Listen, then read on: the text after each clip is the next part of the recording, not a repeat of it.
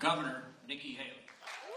Die republikanische Präsidentschaftsbewerberin Nikki Haley hat die geistige Fitness ihres parteiinternen Rivalen Donald Trump angezweifelt. Die frühere US-Botschafterin bei den Vereinten Nationen verwies am Samstag bei einem Auftritt in New Hampshire auf einen Ausrutscher des Ex-Präsidenten. Trump hat am Freitag offenbar Haley mit Pelosi verwechselt, als er über die Erstürmung des Kapitols durch seine Anhänger am 6. Januar 2021 redete.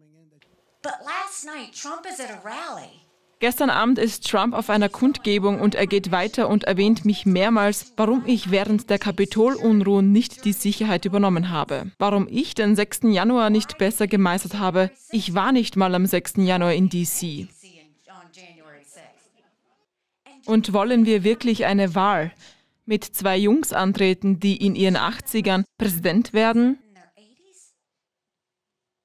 In their 80s? Und das ist nicht Alterismus, von dem ich hier spreche.